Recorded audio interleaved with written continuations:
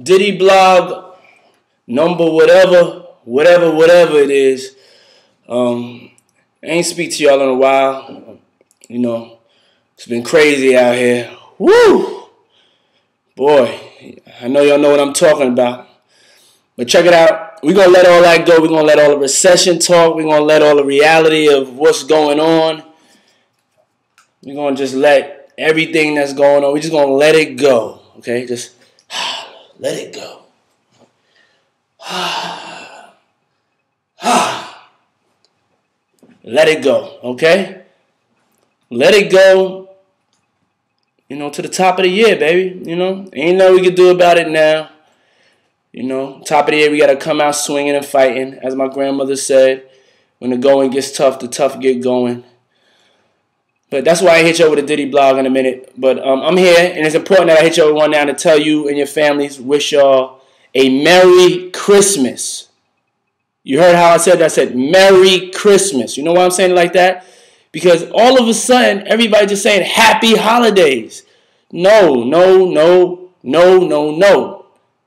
It's Jesus Christ's birthday. So it's Merry Christmas. I don't care what religion you are, what denomination you are, give respect where respect is due. You know, when it's your birthday, we don't say happy holiday. We don't say like happy holiday, Sally. Happy holiday, John. No, we say happy birthday, Sally. Happy birthday, John. So say Merry Christmas, okay? Merry Christmas to everyone. Happy Hanukkah. See, you don't say happy. You can say Happy Hanukkah, Happy Kwanzaa.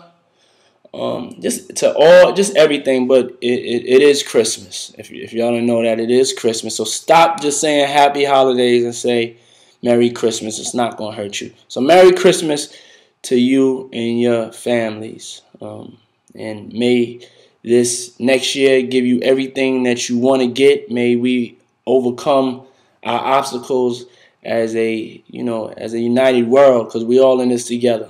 We all God's children. Um, thanks everybody for just you know checking out my blog support me this year through the television, through the movies, through the fragrance, through the clothes. I know I do a lot of things. I'm not trying to get on your nerves. I'm spastic. I just like I like opening up doors and showing people that we could do it if we put our minds to it. I just like doing a lot of things. I'm not the type of person that could do one thing. Um, what does that have to do with anything? Um, let me get back to the subject. Merry Christmas. Peace.